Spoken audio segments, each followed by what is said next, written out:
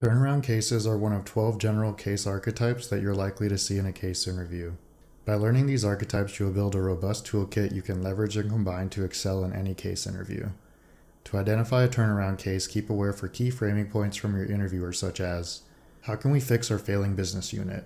We are severely underperforming against the industry or competition. What should we do?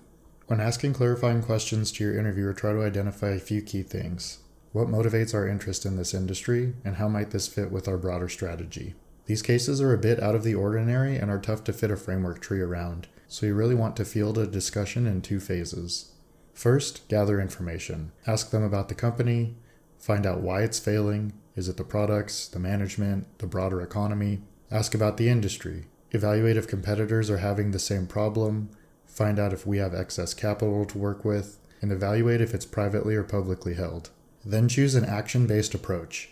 Learn about the business and its operations and hypothesize plans to fix things. Review all the services, products, and finances. Note how you would secure sufficient financing so the plan will make it.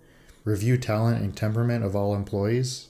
And frankly, get rid of anything that's not needed. Determine short and long term goals of the organization. Establish a business plan.